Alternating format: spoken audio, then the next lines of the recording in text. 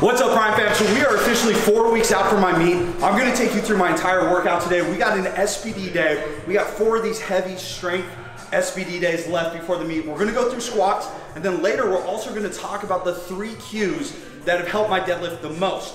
So we're gonna cover everything I do that I think is really essential, especially to a conventional deadlift. Now again, if you haven't seen my squat video on this, where I talk about the three cues that really improved my squat the most, go watch that video if you haven't.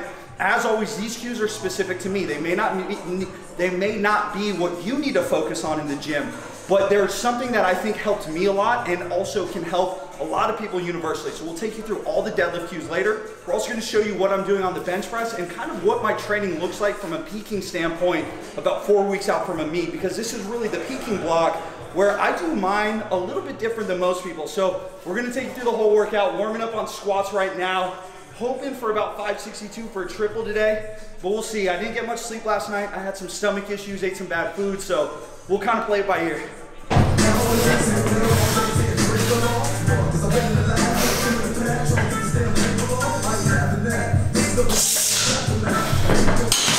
Okay, so building up on squats, like I said, triple at eight today. I'm really focused on trying to actually get my grip a little wider and my hand very flush against the squat bar. So the squat bar is all about controlling whip. Even though the bar is thicker, a big misconception is that this bar whips less than say a, a Eleiko or like a, a stiff 29 millimeter bar. That's not true. This bar whips more because it's so long. The weights are displaced out to the sides. So because it's so wide and long, this thing whips on your back so much, and at max loads, it can fold you over really quickly. So for me, it's all about a wider grip on, on a squat bar and really controlling that whip and almost pushing my triceps up into the bar and getting my hand flush with it. I'm gonna hit this first single and then take one more jump and then probably hit my top set.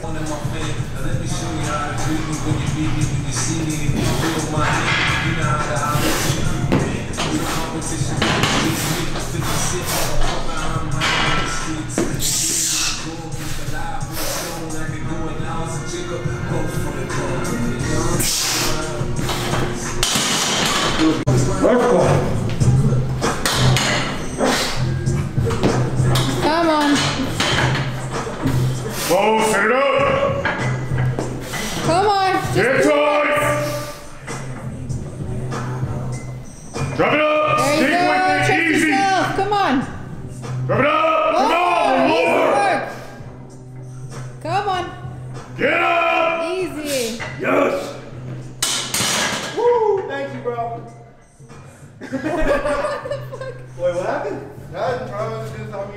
All right, so uh, really great top set on my squat. I hit 562 pounds for a triple, probably RPE 8 with really safe form. If you guys have been following me, you know I tore my adductor about two weeks ago doing a split set. I'll show that clip real quick.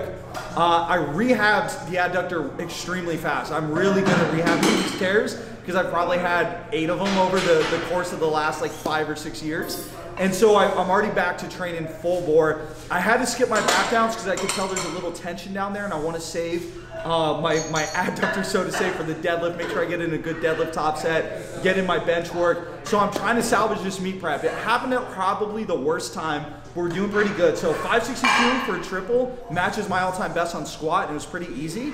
And to be able to do that off really not training hard the last couple weeks because of the adductor is amazing for me. So squats in a good place. Now, moving on to deadlifts, this is an SBD day, squat, bench, and deadlift, but I always do deadlifts first because it keeps my back fresher. From all of the arching on bench press, my back gets really fried, especially when I'm doing a lot of volume on it. So I actually start with deadlifts first and then I go to bench press after. It's just a personal preference of mine. So I'm gonna take you guys through exactly what I do on the deadlift, the three things that have helped me probably more than anything in the last few years on my deadlift. Okay, moving on to some deads now. So what I cue, the first thing that's really helped out my deadlift is cueing a protracted or reached upper back with an extended and tight low back. So what I mean by that is essentially I set up where I'm reaching, trying to actually actively protract my scapula. So I don't try to pack my shoulders back and down. It's like the worst cue for deadlifting. That just makes your arms really short. Instead, I really protract, reach, and depress and get it locked in and long. This gives me leverage on the deadlift because my arms are longer. But the problem with this is when you just cue that, you tend to flex over a lot. Some people might be able to pull heavy deadlifts like that. For me, if I flex over too much, especially my low back, my hips can't come through to the bar. So what I like to cue along with this is a tight extended low back. So essentially, in a dramatized version of what I'm doing, I'm trying to arch my low back out while flexing my upper back. Now, in reality, I can't actually arch my low back because I got a belt on. There's no way I can enter that much extension at the bottom. But that's what I cue is I actually cue to extend that low back tight. That way my hips can extend the bar very well. If my low back gives, my hips reach posterior tilt, which is a function of the glutes, and that puts them in end range contraction. Therefore, they cannot contract to the bar efficiently. That's why people who hold really rounded backs have a hard time at lockout. So for me, I keep the low back nice and tall, or nice and erect and extended, with that upper back's where I get leverage. So this gives me the best of both worlds. Leverage in the upper back, longer arms, kind of like a crane. Low back is nice and tight so my hips can function. So the way I set this up on the bar is I'm gonna cue all the protraction up top, and then I'm gonna bring that down to the bar, and then you're gonna see right before I go, I extend and lock my low back while keeping the upper back protracted, pull the slack and I go. Let's watch this one.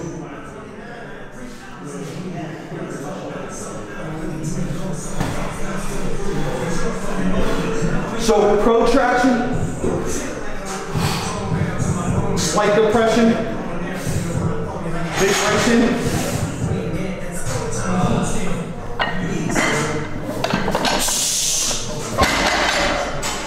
So I do that really fast because I can't really do it slow with my slack pull style. Well, I'll try to put a slow-mo on the screen. At the bottom, I really extend and lock that back, and then I slack pull and go, and I hold that position. So the majority of my tension and positions created up top, I bring that down to the bar, I set the last piece, which is my grip in my back, and then I pull the slack and go.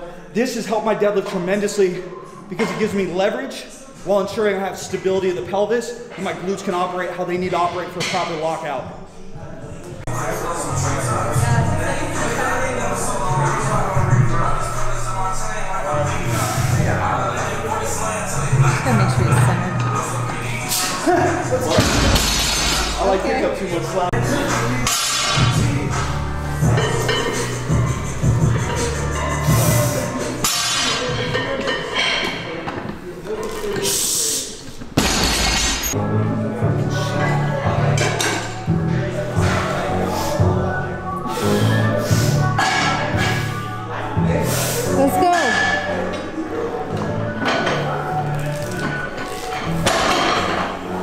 There you go. Yes. All right, guys, so built up to my top set, I hit 661 pounds for a triple, which is amazing. After the adductor tear, I had to detrain my body basically to get through the pain. And so building back up to those top sets, I basically matched two lifetime PRs a day. That's huge for me. Uh, adductors feeling pretty healthy. I felt it a little bit on the top set, but I think we're in the clear now. Uh, so I wanted to focus on that before I went to cue number two. So now cue number two, that's really helped out my deadlift. I've dropped the weight down to just two plates so I can kind of talk you through this, is really gripping my feet externally and rotating them and rooting them into the ground. So a lot of people overlook this, especially for a conventional deadlift, but a really good way to get very strong hip extension is to twist your feet to the ground. So when I set up on here, I'm actually gonna point my toes a little bit in from what feels the most natural to me. So normally, I would have my toes kind of flared out to about here. But in this case, I'm gonna bring them in a little bit, right about there. And then I'm gonna twist and grip into the floor.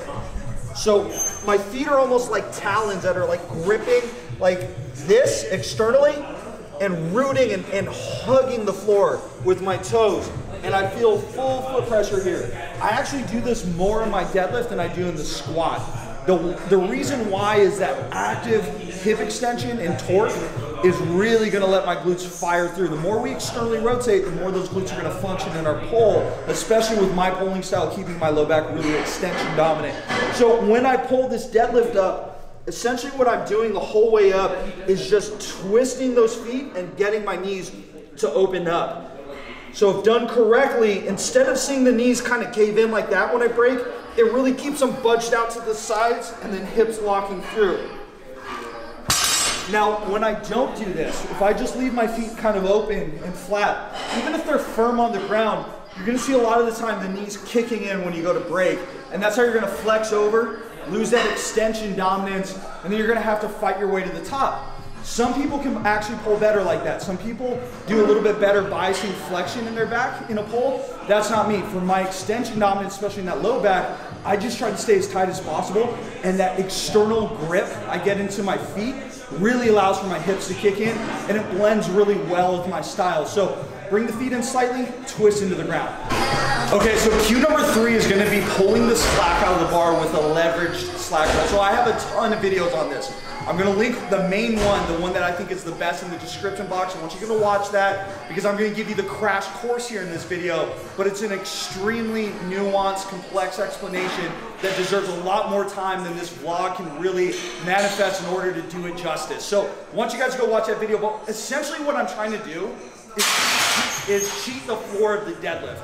I do this by essentially pulling some of the weight up off the ground and leaning back into a higher start position than I could ever otherwise start with in my deadlift by using the slack of the deadlift bar, especially kind of to the advantage of it. So if you actually watch my warm-ups on 495, I pulled so much slack up off the ground, I actually lifted the bar up early. This happens sometimes on my warm-up sets because they're so light that I accidentally pulled too much slack out. Now, usually I intend to pull less out at those lighter weights, but when I'm revving up for a really heavy top set, sometimes I get a little overzealous. The goal is to pull out just enough slack for each subsequent weight jump. So I'm gonna show you what three reds would look like, which is gonna be a lot less slack that I would pull out than say 700 plus pounds. So when I set up, my goal is to go down to the bar, and when I'm ready to go, I'm gonna pull up on this bar and bend it to the ceiling. So here's relaxed, here's bent. Okay, so I'm actually literally almost picking some of that weight up off the ground like that. Now, if you do it too much, that's not gonna help you. You shouldn't actually lift the entire weight up off the ground. But you pick up maybe 50% of it in like kind of a stiff-legged position and then I lean back with that pulling more out on the way down and initiate the lift, almost like a deadlift jack with my body just wedging up into position. So when done correctly, it'll look very smooth.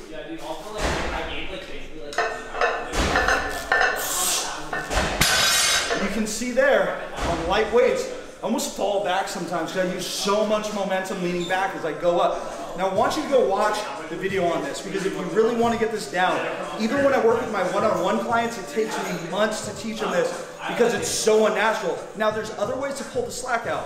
This is my way, it's what I call a leverage slack pull. Other people just do a tension slack pull where they create tightness and then pull up. Mine is actually kind of using the weight against itself to put my body into a higher start position than I could otherwise achieve without pulling that much weight up and bending the bar that high towards the ceiling. The key is to literally pick some of that weight up and then lean back with it without losing what you picked up in that start position. That, hands down, has made my deadlift more consistent and stronger than any other thing I've done with my deadlift. So I encourage you guys to try it. Now we're gonna move on to bench press, show you what I'm doing there. Okay, building up here on bench press, uh, I got 308 loaded. I got a triple at eight. Now my bench press is PR'd every week for the last like, I don't know, five weeks or something. And last night I didn't get a lot of sleep. I had some stomach issues, got like four hours of sleep. Whenever my sleep gets shitty, I, I always feel really beat up the next day, even if like performance is high. So today my bench feels strong, but my joints feel like glass. So probably gonna take it easy today. Main cues I'm working on here are really getting an active, getting into active scapula retraction. So a lot of people think of scapular retraction, again, is just like holding the shoulders pinned back and that's it. You gotta actively retract more and more as you come down. And then I actually slightly protract on the concentric. I talked about this in the last video, but I think this is a really big key for moderate grip bench pressers. Wide grip, they stay in their retraction kind of permanently.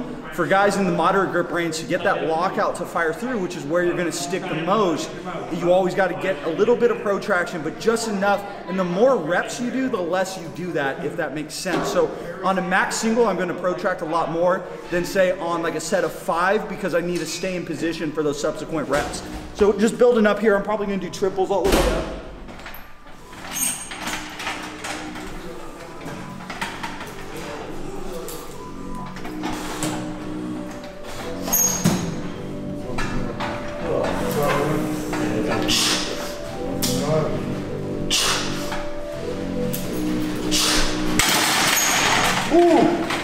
Strong, hurts.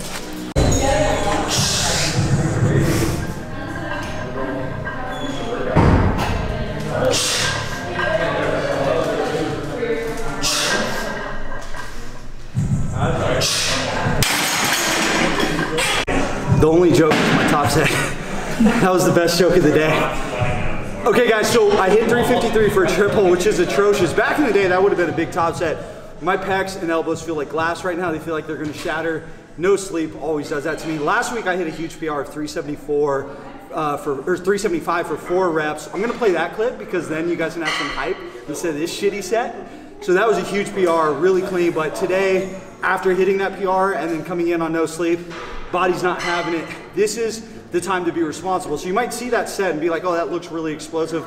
I can tell it's not the time to go up on the 353. So I'm gonna call it there, let my body kind of deload. That's the whole purpose of this week anyways, to take it a little easier before the final push. And uh, I'm gonna go down, do my back down sets, and uh, I'll, I'll probably film another little outro after that.